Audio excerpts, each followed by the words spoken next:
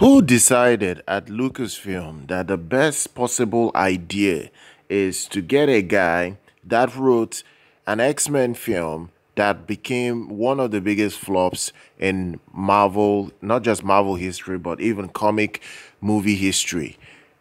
Uh, you know, to be the guy to pen a trilogy for Star Wars. I, I, I don't understand this. Now, it's been reported that Simon Kinberg is going to pen a new trilogy for Star Wars for Star Wars um, you know the, the Star Wars uh, franchise going forward. It's uh it's it's very interesting. Honestly, it is so interesting. This is the guy that wrote X-Men Dark Phoenix, one of the biggest flops in in in comic book history. Uh, this guy, he also penned the 355.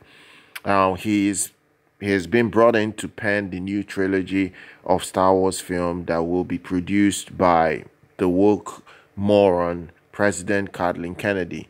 Um, now, this is from Deadline. They shared this. Uh, they shared this a few days ago, but I just, you know, have not had the time to cover it. And this is it.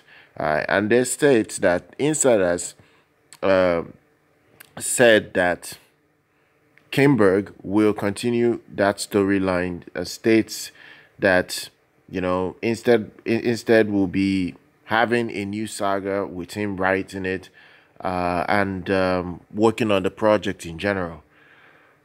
The Star Wars project with James Mangold, Shamino Chinoy, uh, Taika Waititi, and Donald Glover will will also be kind of like uh, you know with this new trilogy but then again they, they will all be different from what simon kinberg will be doing uh, in terms of writing the new trilogy.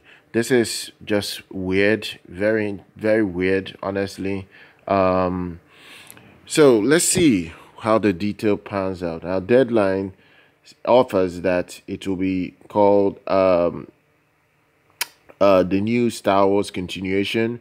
Uh, now, there is nothing that's been revealed whether it's continuing the Rey Skywalker saga or where it's going to be at, but uh, they are very unclear whether it will continue the Skywalker, Skywalker saga or follow a new story. But this is where uh, the news is at right now that there there will be some continuation going on with this guy helming this project going forward. Uh, I just don't know how this is going to pan out in the near future. Star Wars is already in the toilet with the woke acolyte that came out a few months back that nearly, in fact, that has already destroyed the Star Wars brand. And now you have this guy that has not written anything that has been successful in cinema coming now to write a trilogy for Star Wars. I just don't understand this. Deadline is saying that it will be a continuation. However, according to site insiders, the insiders are stating Kinberg will not continue the Skywalker storyline, but instead will begin a new saga.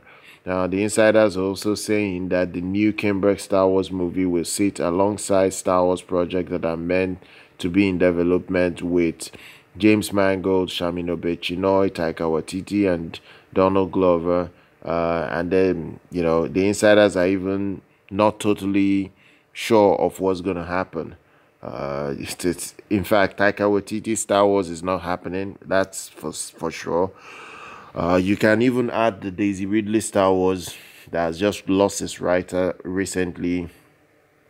And even Ridley just signed for a new film that is not Star Wars. So I just don't understand how this is going to pan out. But that's the news report right now.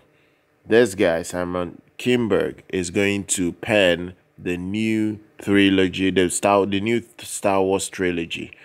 If you guys enjoyed this report, then go ahead, smash that like button, subscribe to the channel, follow us here on YouTube. I'll see you guys very much next time.